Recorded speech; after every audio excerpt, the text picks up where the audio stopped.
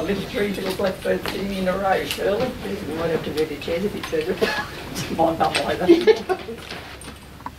Can you sit in the middle, Kate? Yeah, I can do that.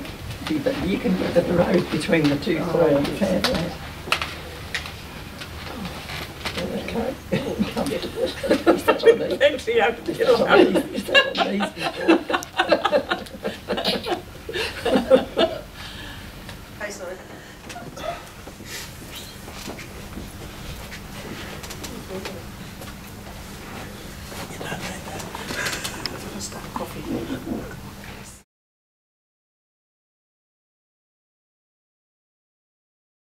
Uh, Nolene Robbins put the ad in the paper, and it was her house where they held the first meeting.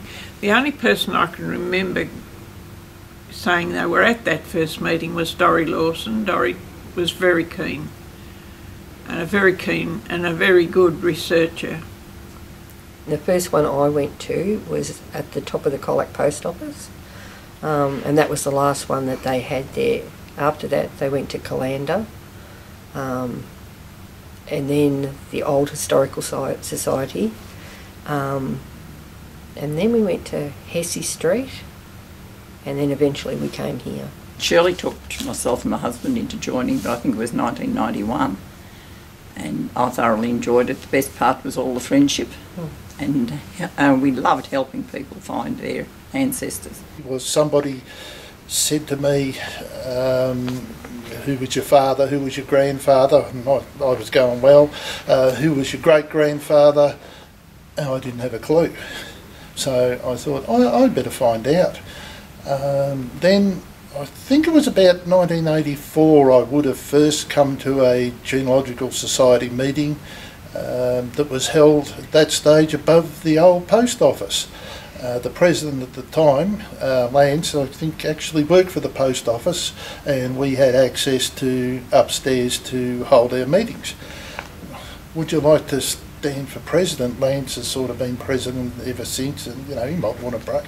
I said no, no, no, no, no, not me. Um, I said I'll come along to the annual meeting, and you know we'll just see what happens. And anyway, the call for nominations for president, and I can't remember who's there, Kevin Swanson, and they basically said, "Oh, Karen, Kevin, you're it."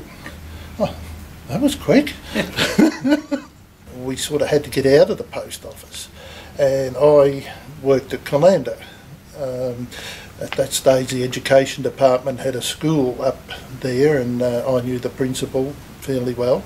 Um, I negotiated with him that um, Tuesday nights we have meetings. We had nowhere to go. Um, would they? Uh, would he be prepared to let us use the school, uh, which was heated? And the good thing about it, it had a little kitchenette, and we didn't have to bring tea and coffee, uh, which was great. Uh, I can't recall where the first set of microfiche Yeah, came Stan from. Price. Stan Price bought them. Stan Price, that's right. Stan Price purchased them because we were battling a bit. We had, we acquired some second-hand microfiche readers, and um, by the time we could buy another set of microfiche, correct me if I'm wrong, girls. Uh, we were able to use the first set to put out on loan to members, members only. And they could take the microfiche home for a one week. And- the and the- microfiche with the and the reader. reader Yeah. home for one week.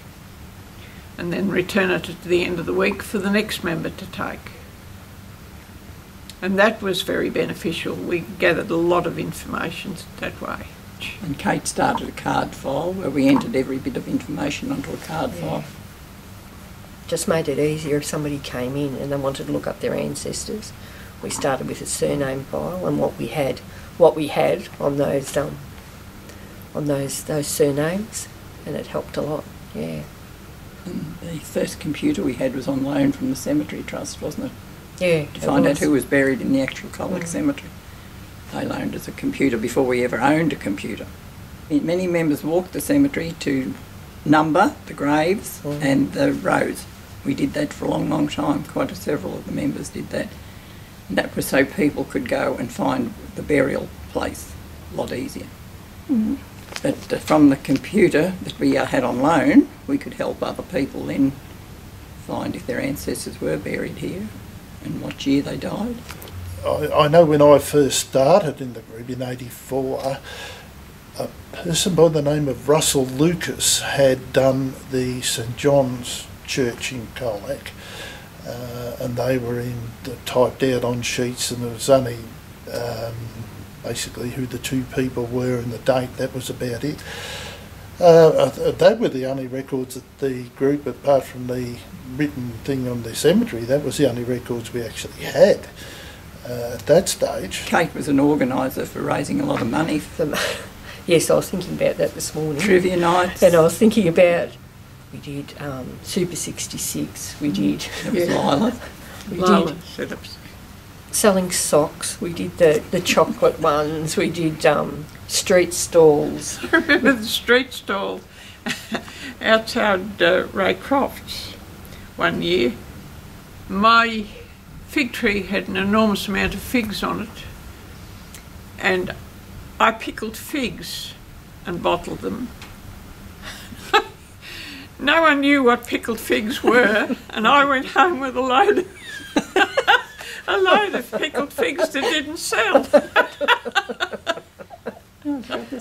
Casserole teas, Yeah, trivia casserole nights, hmm. seminars. Seminars we didn't intend to make money, but we usually did. Yeah, we sort of started the seminars to, because it was then so so much trouble to get to Melbourne. We decided we'd bring the specialists in different subjects to Colac, and that that got a whole new range of people that had come along as well. So we got more members by doing that. And they Oh. travelled from near and far to, Yeah, to yeah. come to the seminar. We'd have the room full. Yeah. Chockers. One might speak on immigration and another one on another subject. Public record. I We had yeah. um, skin divers that had dived on local wrecks who, and brought along a lot of their artefacts that they had. We had some very interesting speakers. Hmm. One of the early members of the group was Stan Price. Stan was on the board, the hospital board, uh, which gave us a leg in because we knew the hospital had records. I'd heard about it, I hadn't seen it. Uh, they dated back to um year dot, really. Um, the we met with the board. The board gave us very clear guidelines that of what information we were allowed to uh, copy and what information we weren't allowed to copy. Uh, and as per usual, the information you weren't allowed to copy was far more interesting than what you were allowed to copy. Um, we had a lot of members very, very willing to come up and help us with the uh, transcribing the hospital records, uh, mainly for their own benefit because they'd go up and peruse what uh, great grandfather was in in there for, uh, shock horror, you know, some of the uh, illnesses they had at that stage. Um, look, it, it was hard work uh, to pencil it out, copy it out. A lot of it in the early days was old inkwell pens, and some of it uh, just looked like a fly crawled out of an inkwell over a page. Um, interesting, hard work, but interesting, and as I said before, just worth its weight in gold. These people, in particularly the hospital records, may not have been born in Colac, they may not have died in Colac, but they were here. And if they were here, we need to know. Yeah, to access the hospital records up to 1920. Um, so to do that, we used to have to get the books and take them and take them up to the old nurses' home and um, sit there and do it all by hand and them. transcribe them out. Some of the writing was terrible, and we ended up with some interesting names and comments. Uh, but the most interesting thing, I think, were the older ones, which they actually put where they were born, where they came from, and the name of the ship that they came out to Australia in, which really helped people if they were, they were looking for their ancestors. And. Gave a lot yeah. of people a starting point. Yeah, yeah, it was good. Well, we, when we moved in, I think it was June 2001, June or July, the size of the room made a big difference to both us and the Historical Society. And we had access to the records that the older ones had previously, or the older members had previously done. And it was great help to everyone. But we always had people coming in. People had come through every day we were open. We found that we had to have more than one person here assisting in the finish. It was so busy and they came from all over Australia because we we changed exchanged newsletters with every group in Australia, most of the big groups throughout Australia, family history groups, and that's how um, people got their information. Then there was no such thing as sending them an email or never heard of it. Uh, Kate being secretary, the news she picked up the mail from the post office and we went through them. Any item we found that was interesting was written down or made note of, and um, people would borrow, at times our older, Kate kept our newsletters and people would borrow them to read, especially in the, from the areas that they'd come from themselves. And uh, our own newsletters were very interesting. Our secretary here, Bit of cut and cut and pasting, photocopying, photocopying again. Over about 200, I can remember standing at that Yeah. old photocopy, 200 odd newsletters with so many pages in them, and then all the envelopes had to be addressed Yeah, by hand, addressed, stamped. stamped, Yeah. and uh, we all stamped the backs of every envelope with our own stamp to say where they were from. They took, that took hours, didn't it? And did they, but it got put out every three months without fail, thanks to Catherine. No, thanks to everybody that assisted, I think. We had quite a few different little committees that sort of did things. like, Subcommittees. um, yeah, subcommittees, which um, which was handy. Committees within the committee, yeah, so, so to speak. in the general committee. And it was people that were interested in the certain, like, Aspect yeah, of, that, of that they joined the that. operation. Yeah, which was good. Uh, I was secretary probably 18 years, and I thought I'd never get out. no one else wanted it. But eventually, yeah, I did. But no, it was it was good. I did enjoy it. See, everyone got their newsletter posted to them because it has the way it had to go out. Um, another thing that I'd like to mention was our window displays, which were very, very well done. And one of our members in later years, Margaret Finlay, did a great job of all our window displays with assistance from Liz mainly, but it was very, very good. People were always interested in our window displays. It's a lot of work in it, Kate, but we found it fun. Yeah, and It I was mean, you made really good friends. Yeah, and it was fun. It was so good helping people. Oh, it wasn't that. I, I think that was the best part of it. Yeah. If you found something to help people that they didn't know, they were so, you know, there'd be tears and everything else. But Yeah. Yes, was- everyone was shared their research as much as anything. We were all interested in family history, so everyone was interested in your story as much as you were in your own. Mm-hmm. I can recall on one occasion Dorry researching a branch of the family. This went back to quite early in her family research. And I thought at the time, that's the most amazing story I've heard.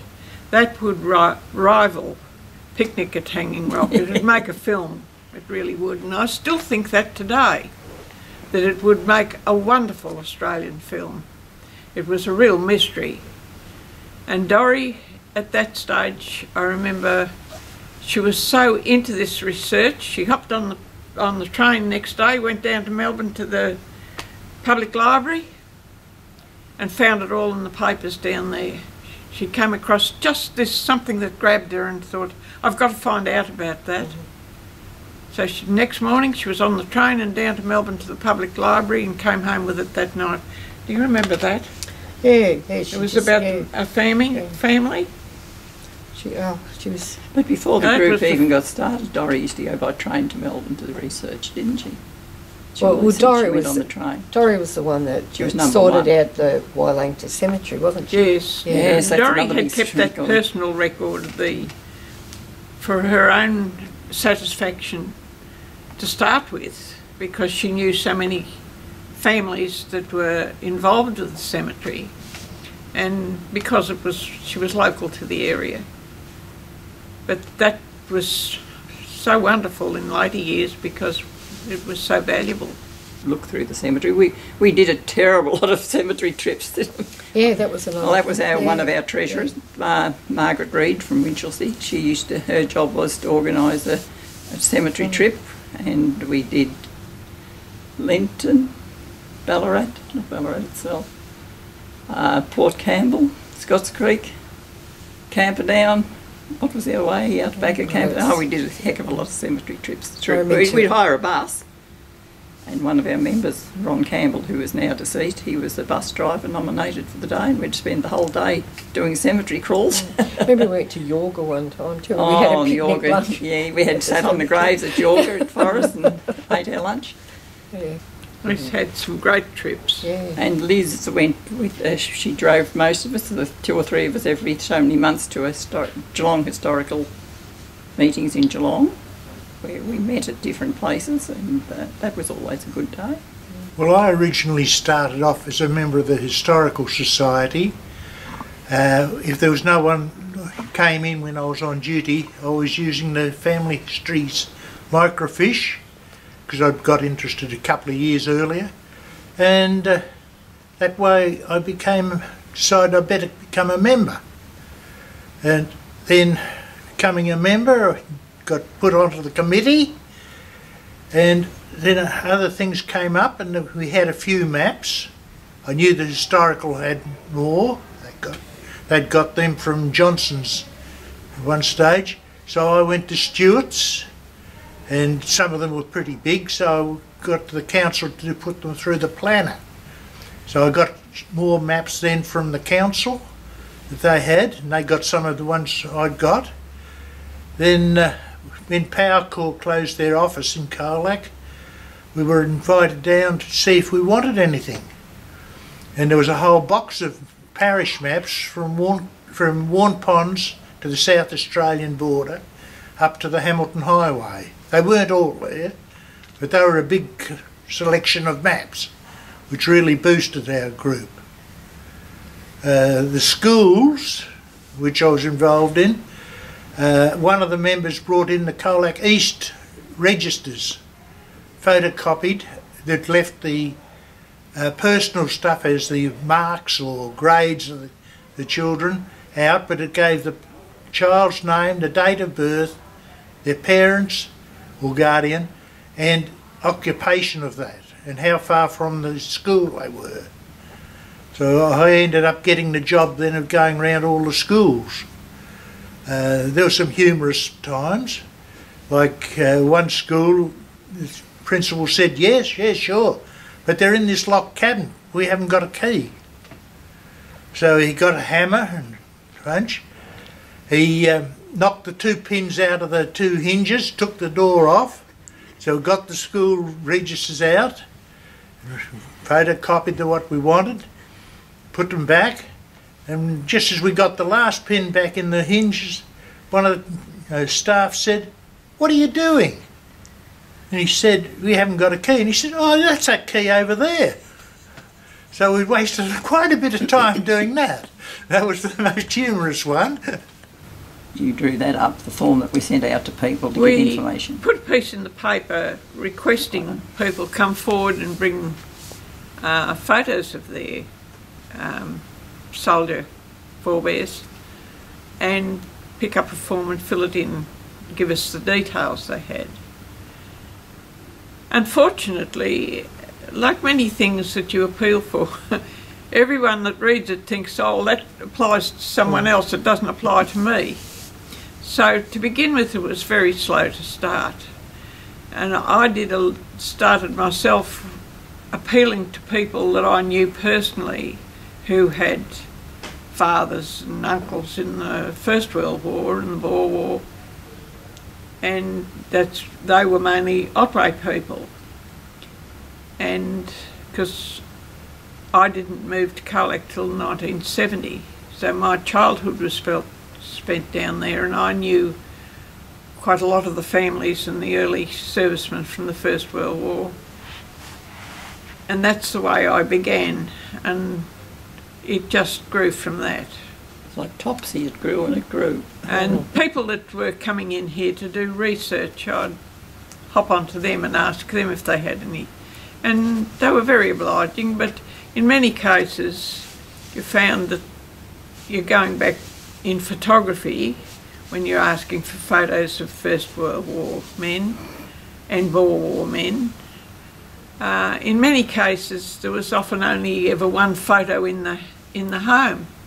M- mother had that hanging above the fireplace, and of course, when mother died, the photo went somewhere else. It might have gone to Western Australia to the eldest son or wherever, and the other members of the family, the other family members, were left out. They didn't have one. Many times people would say, "Oh, I believe there was a photo, but we we haven't got it. Well, we've never seen it." Or, and by this time, there were three photographers in Colac that were copying old photos and giving re- reproductions. And I thought, well, that'd be a, a great thing if we got a, a good collection of photographs. When people come in to do their research, we could get these photos copied for them. And many a trip I had on foot round the, the, the camera shops getting photos copied for a certain researcher that they'd pay for the photos and um, go away happy because I now had a photo that they didn't have before to add to their family files. And so it just grew in momentum from there. And um, found that once you showed them the albums of photos, they people were more responsive to to contributing. Uh, they'd think, oh yes, I wouldn't mind, uh, you know, Great Uncle Jack going in there or whatever. Photographs and the forms were placed together in the in a pocket in the files, in alphabetical order, which was easy to access. I'm not um, very proficient when it comes to do any, doing anything other than manually, I'm afraid. I have no computer skills. Um, it was, uh, that's where I greatly admired Dory at her age, uh, that she took to the computer and she, she was dogged in her determined to, to learn to use that computer, which she did. But I, I was never as smart as that, I'm afraid. Certainly were smart. You were born smart, Shirley. Yes. The ashes. Well, the ashes came by the fact that we had a copy of the cemetery records and they were well used. They were being used all the time, and whoever was doing the research uh, and answering the letters were using the ashes to a great extent. And I thought, well, what happens with people these days? There's such a big percentage of people being cremated what happens for the records of where, where the ashes were placed? Some are placed in cemeteries, some are placed in in plots in cemeteries, some are placed in uh, walls of remembrance, some are scattered.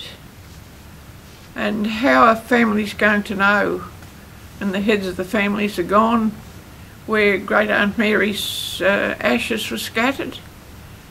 Um, so from that, we just started. I just started up a cemetery register, uh, ashes register, and um, today there's a lot more ashes being placed, I think, in cemeteries than there are being scattered, because people want uh, a place to visit.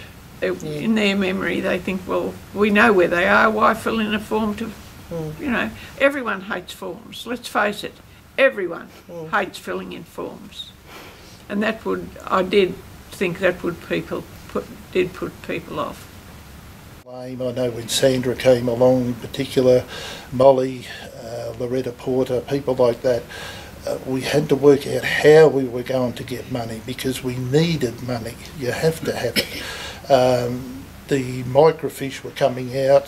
Um, we needed microfiche readers. We had to buy the microfiche itself.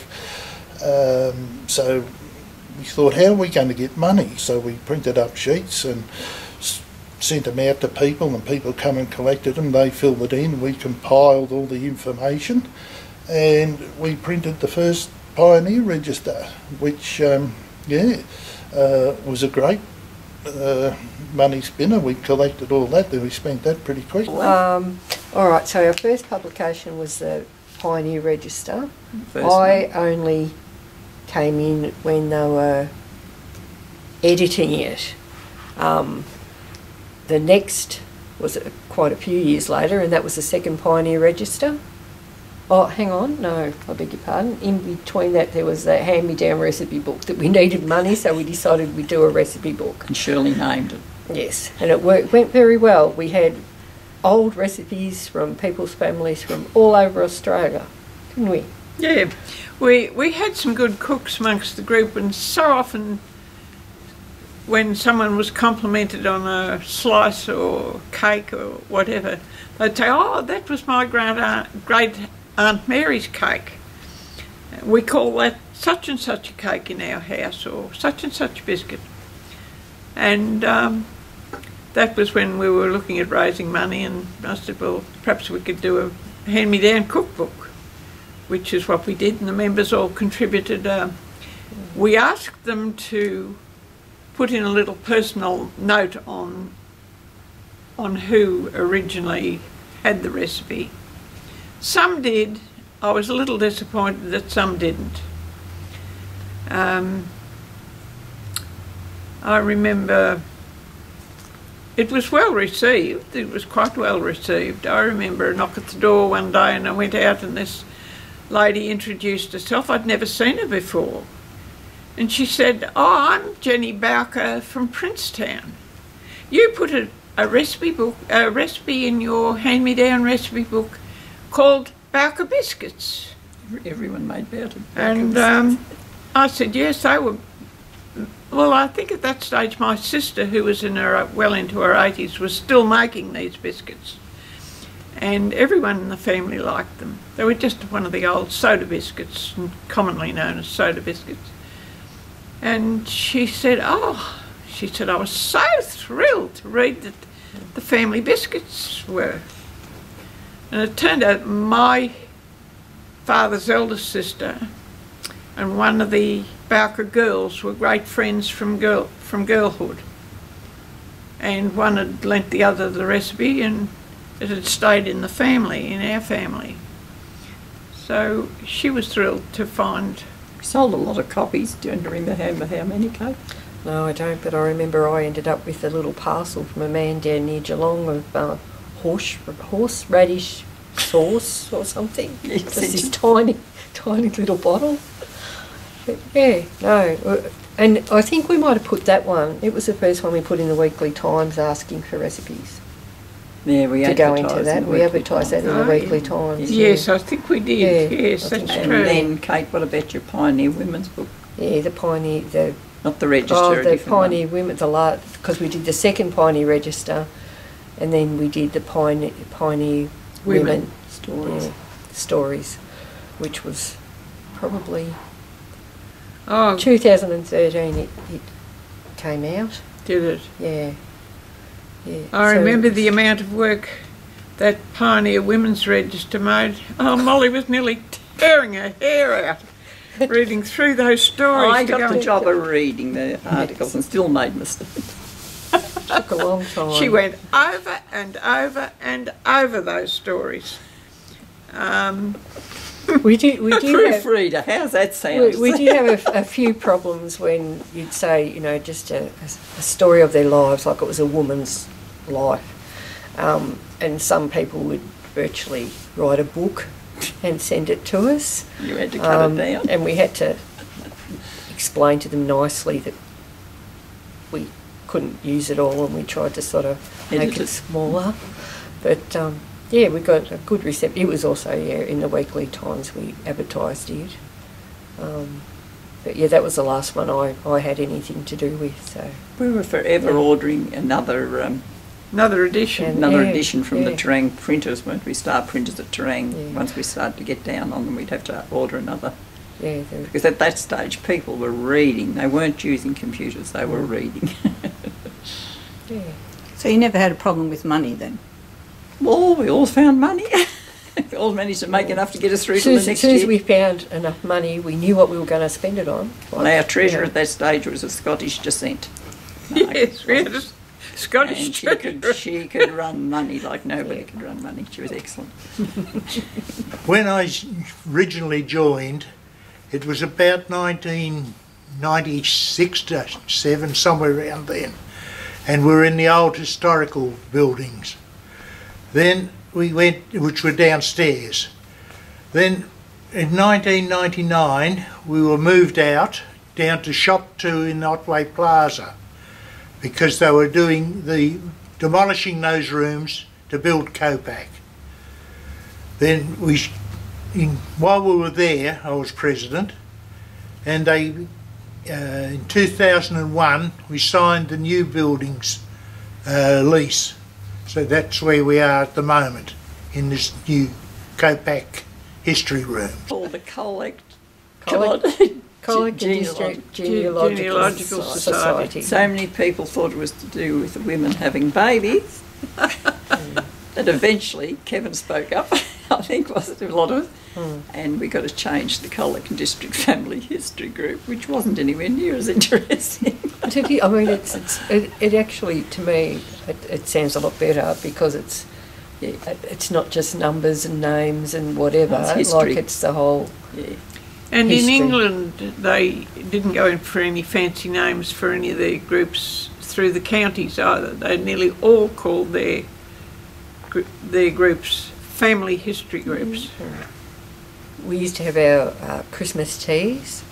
We used to have casserole teas, which was in about July, August, It's a winter- July, July. August, A winter like that. event, yeah. Yeah, um, Always held in a hall, not quite, here. quite often we had um, anniversary dinners. Uh, we'd go to a hotel and a, a lot of us would, would go for Saved us cooking. yeah, for, for, and and we'd ha- hand out like life memberships or things like that at them, didn't we? Mm. Yes, Yeah. usually at the anniversary Yeah. dinner, some people who are entitled to be Yeah. called a life member become a Oh, life and member. so how our trivia nights, they were they were a good money Yes, raiser. they were, they And were uh, good. I, I must say, so many of the smaller local businesses used to help us out there. we used to walk Murray Street, But and the, how the dare smaller, we when you think about but it, the smaller the, ones yeah, were, were the little ones that gave the most. yeah, they were. They were the because in ones that gave those days you couldn't ask the uh, Company because they were all by then a big company, you know. Uh, Mm. Target was run by a head office in Melbourne. All those different things come into it, but the smaller businesses in Mm. Colac were always willing. You'd walk in and they say, "Oh God, here she is again," and um, then you had to go back and pick up the uh, donation, donated gift when they had it ready for you. So it was a double trip round Murray Street. I think I learned a lot more businesses in Colac than Yeah. from one end of Murray to Street up with that, that many presents. Everybody used to love coming to the. Uh, Because everyone won a prize in the finish. It was that Yeah. many. It was yeah, great. no, it They were really it was good nights. Yeah, they were. And they, they got not just members in, but other people in Mm. as well, which is what we wanted, you know, to include more in the community into what, what we did. So it's a very social thing as Yeah. well. Oh, yeah, it that's was. right, right. yeah. That's it. I found right from the very start. The minute you walked in the door, someone made you welcome, whether they hated you or otherwise. no one hated each other. Uh, I'm wrong to say that. We were very made. Every, we were made very, very welcome, and um, we made people welcome. Which you'd have people come in on the open day, and they wouldn't. Be, they'd be still here in the afternoon. I mean, we, we'd be sort of closed doing doing stuff, and people would knock on the door, and you'd sort of think, oh, and then you'd say, oh no, come in, and you'd sort of try and help them, and yeah, yeah. sometimes you, you learnt many things, and they they learnt a lot as well. Mm. So it was. No, it was good. Still good, thank goodness. It is still going. It is. when we held the seminars, I think the first one was at the Guide Hall. Was that right? We had a few at the Guide Hall, and we went from the Guide Hall to Ray Street. Skill connection. Skill Connections, is that what it was Mm, called? Yeah. And then we went, after that, we went to St Mary's. St Mary's was good. We had quite a few there, and then we went to St Andrews. Was the last ones that, that we had. Um, we'd normally have about four speakers for the day. We'd have a speaker, morning tea, another speaker, lunch, another speaker, afternoon tea, and the final speaker. Um, Which was the one we usually If anyone called- wanted a cup of tea before, before they went home, they were welcome to Yeah, put the yeah, jug on and yeah. make We it. tried to make the last speaker someone like, Because uh, who was she from Geelong? Yeah, somebody to keep They people it was so bright and breezy, everyone was woke, woken up by then. Um, Susie Zada. Susie Zada. Yeah, Oh, Susie yeah. Zada was worth Poor her weight in Margaret. gold. Margaret, uh, Richardson. what was it, from the showground? Richardson. Margaret Richardson. Richardson, They all fall asleep. asleep every time.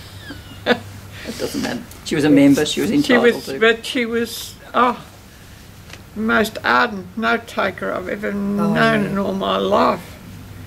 She'd spend hours taking notes. And we sold books. We sold a lot of our publications, and other people brought Yeah, they got theirs as Pam well. Jennings, who did a lot of books Mm. from down around the Geelong group. She'd have her own table. Everyone was allowed. Groups were allowed to have their tables And at the the seminar. GSV, they brought books GSV would down, always yeah, provide sometimes. books, or um, and uh, we were able to sell all them. We made quite a good number of sales at our seminars. Didn't we? Yeah, no, it was, it was good. No, it was Kate was the organiser. We just Oh, we but there was so much work that everybody did. That, you know, had to set it up. Some of the speakers from GSV, they'd come down loaded with books to give away, back copies and things to the new members who hadn't a lot of research material at home. They could go home with an armful of uh, magazines and and they were very happy. and Ada Ackley, our elderly speaker, Ada came back year after year. had to meet her at the station. We had to provide accommodation, Yeah. but she was marvellous. She was an elderly lady. Kate worked so hard in getting, trying to get a variety of speakers every year. Um, it was, they were really good. They were well attended. People had come from Terang and, you know, all over. Oh, Well was. Done. Thoroughly No, good I couldn't have done it without everybody else. I though. know like that, but everybody you were the- pitched in yeah. together. Yeah, but you You used were all the brain power getting it together, Kate. I think I had the honour, I was the first and only person to take the baptismal register out of the Catholic Church in about 130 years. Uh, you must have records. Um, uh, anything happens, nobody else is going to have a copy. These are history. Uh, then he took me and showed me the baptismal register, I think, from memory started about 1855 or something like that. and it was all handwritten and I thought this this has to be copied um, which I did. I penciled it out uh, and then I had a uh, one of the members was Diane Parker. She come along and she said Kevin you write it out. I'll put it on computer Yes, some of our best days and best trips were to the Public Records Office. It took us a while to find our way around, but um, once we got into the routine of using our lockers and all those things, uh, it, they were great days. We came home with a lot of information from down there. And we used to be always so happy to share with each other what we. What We used to go to of- Cherry Lane at Laverton. That was the public records office before they Yeah, closed that and yeah. moved to Melbourne, Before they to North Melbourne. North Melbourne. Yeah. Mm. And we used to go. Kevin used to drive a bus occasionally, didn't he? Mm, And we went he by cars yeah. and that to Laverton for all organised days out to What about other groups? We went to. I can remember going to Terang. Camperdown. Yes, Yeah, went to Terang, and some ended up going to Noorat as well to check thing check things out there. And it was, yeah, it was good visiting other groups and and um, You seeing got what a- they had, seeing how they ran their You groups. got ideas from other groups. Yeah. And then when we, we used to have speakers, um, we, we'd um, send them all, let them know that they were coming, and we'd have some from Geelong had come, some from Terang had come, you know, at, at, we, Warrnambool? yeah, yeah, sometimes Warrnambool had come too, just for the different speakers that were here. I think everyone got something out of it. Everyone, Mm. you know. To I don't think anyone went away disappointed that they hadn't heard anything or Mm. hadn't heard what they wanted to or found out something. some of our old, members um, no longer with us, and um, a lot of their memories have gone, of course, of what the groups were like. Betty Baker and Joy Rourke and um, Loretta Porter. Loretta Porter. They were very active members, and you know their memories are all gone. Well, in those days we used to open Thursday, Friday, Saturday and Sunday afternoon. We worked Mondays and Tuesdays, which the girls were still doing. We were meant to work from 10 to 2 on a Monday and a Tuesday, but It was never that, it was always later. and That uh, then because of football and everything else, we found Saturdays were a bit of a waste being open to the public. So we opened like they still do Thursday, Friday and Saturday afternoon. Sunday afternoon. Yeah, Sunday, not Saturday. We closed Saturday afternoon, yeah, and worked on the Mondays and Tuesdays. And whenever else we could fit time in, but you didn't have much time to do uh, anything else. You didn't have a lot of time and you were rostered own. on, as I was going to say, Shirley was doing the roster at one stage, and she sent us a copy of the roster, and with hopefully the day that we preferred to do. I remember doing every second Friday. Ian Whitecross used to do the other Friday, and that went on for several years. But all the other members always did duty on the days that they were rostered. If they couldn't, what did Deborah say? It was up to you to change it yourself. you didn't. You didn't ring the coordinator. You rang another member and said, "Look, I can't do duty that day for some reason. Can you do it for me?" And people usually swapped around that way if they. They're a bit like nurses swapping shifts, you know. Yeah.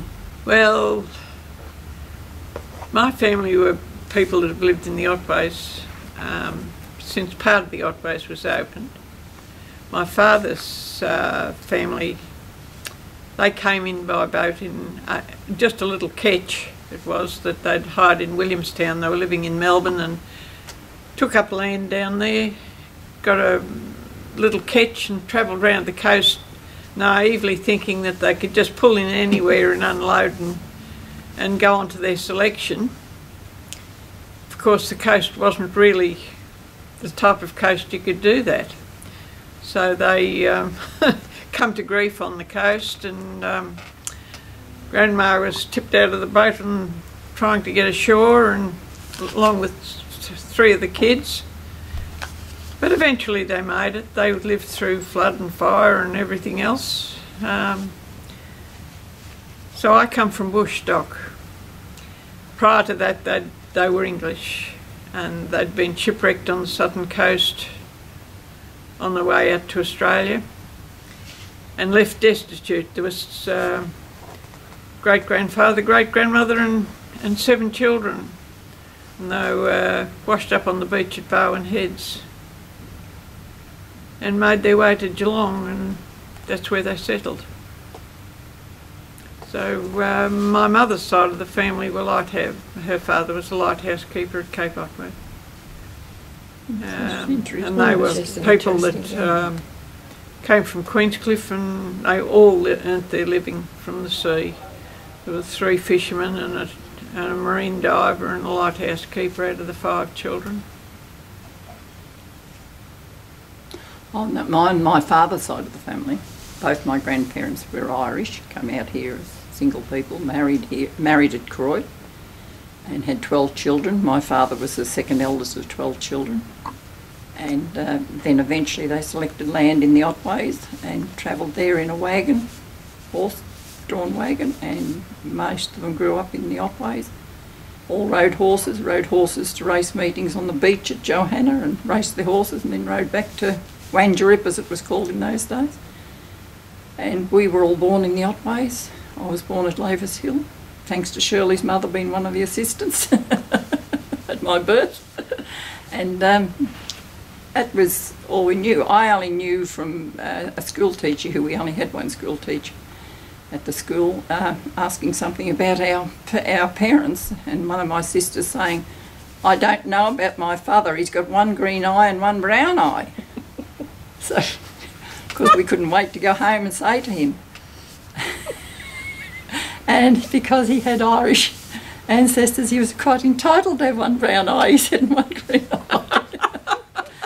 and he had lots of Irish sayings, but we were, we just, you just knew that was all there was. But I, that's why I became really interested. I wanted to know where they came from and how they got here, and which they came out on ships and took months and months, as Cheryl knows, with her family mm. to arrive. But they seemed to settle up in what they called Irish country up around Croyd.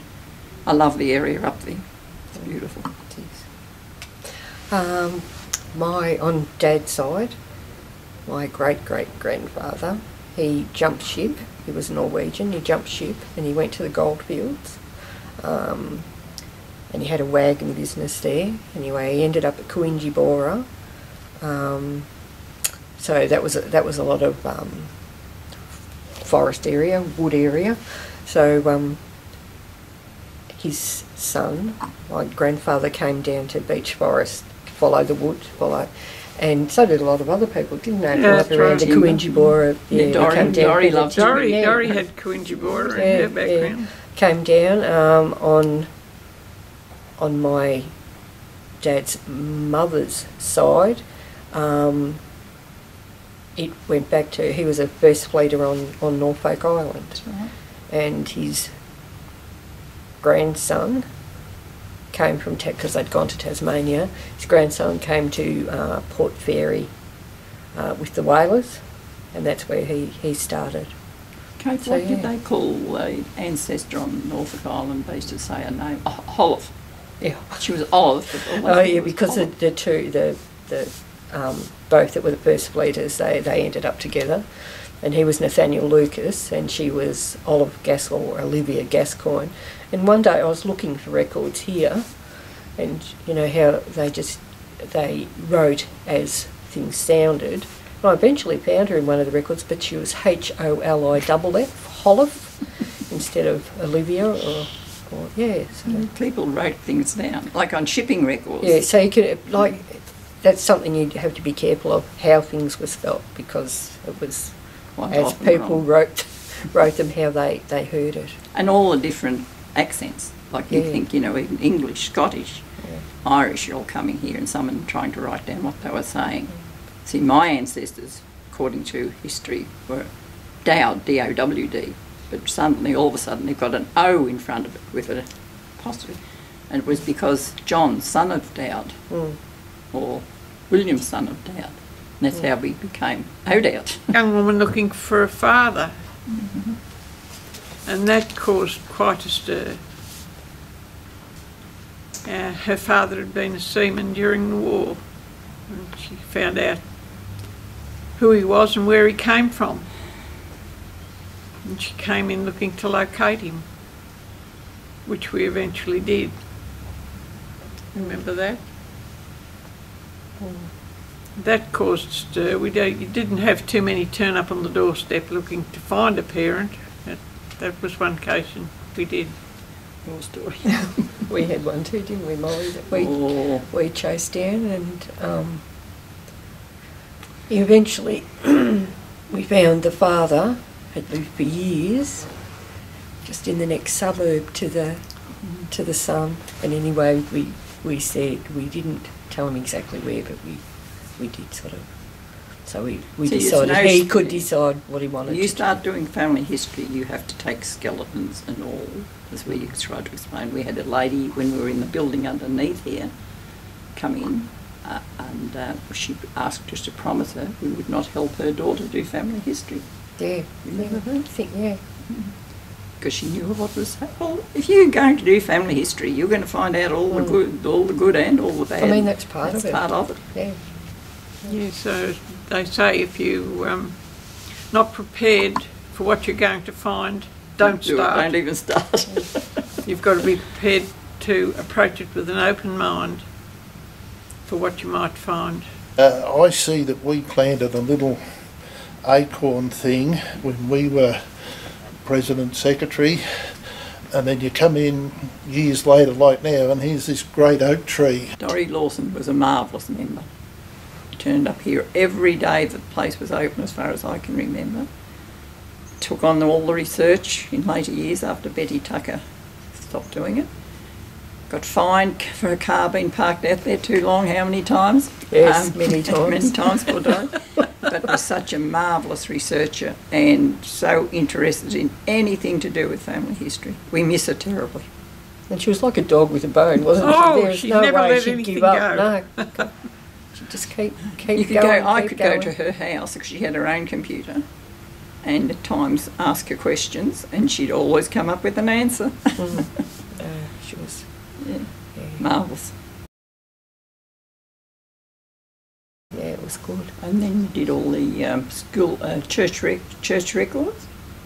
Then Yeah, you did the, the school chur- and yeah. you did the church record Yeah, the church records. from They were- different churches. With They were mainly uh, just, well, photocopied Yeah. for a start. Mm. Um, oh no, sometimes we had to, to do them as well, didn't we? We had to write them all out. Yeah, so it was all by hand at the beginning. But you got a wealth of knowledge out of everything that we that we got that was local for anybody that wanted to, to trace their families.